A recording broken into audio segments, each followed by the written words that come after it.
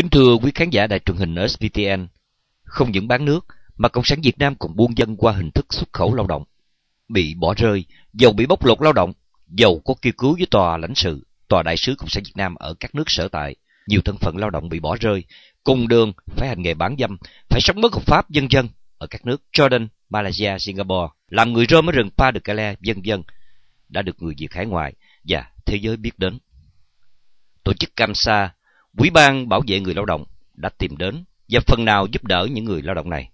Lúc 2 giờ chiều ngày 24 tháng 10 năm 2010, tại trụ sở Vivo, Hội Phụ nữ Âu Cơ đã có tổ chức một buổi họp với truyền thông báo chí và các hội đoàn quốc gia nhằm giới thiệu hoạt động của hội. Hội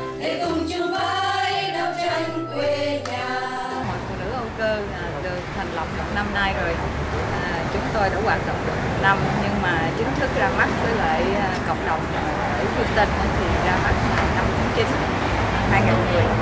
À, Hội Phụ nữ của chúng tôi đó thì à, mục đích à, sinh hoạt của chúng tôi là thứ nhất là đặt nặng về vấn đề văn hóa, à, thứ hai là xã hội và thứ ba là về à, vấn đề nhân quyền và à, dân chủ ở Việt Nam à, hội phụ nữ Âu Cơ ở khắp mọi nơi nhưng mà ở B thì base ở Houston nhưng mà ở khắp mọi nơi chúng tôi có thành viên ở Úc Châu, ở Pháp Quốc, ở uh, Houston, ở Cali, ở Colorado, ở New Mexico. Tôi uh, chúng tôi đang làm việc với lại một ủy ban gọi là ủy ban bảo vệ người lao động.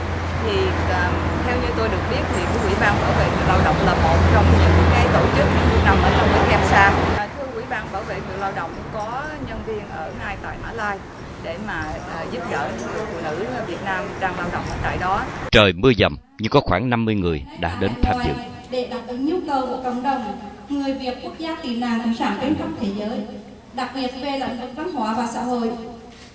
Làm thế nào để bảo tồn được phong tục tập quán ngàn đời của dân tộc Việt? Làm thế nào để giúp những giới trẻ không quên tiếng mẹ đẻ và nhất là giúp các em phát huy được tinh thần đoàn kết yêu thương những nhau? làm thế nào để giúp những người phụ nữ bất hạnh dưới nhiều hình thức như xuất khẩu lao động, nô lệ tình dục, bản thân nuôi gia đình vân vân. Làm thế nào để giúp những người phụ nữ can đảm đứng lên chống ngoài bảo quyền cộng sản tại quê nhà. Với những nỗi ưu tư đó, chúng tôi, người phụ nữ Việt Nam khắp nơi châu bốn bể, những đứa con của mẹ Âu Cơ, tù về một mối đồng tâm thành lập hội phụ nữ Âu Cơ. Sự hiện diện của quý vị hôm nay đã thể hiện sự gắn bó của người Việt Nam trong tình đồng bào ruột thịt, một con ngựa đau cải tạo không ăn cỏ.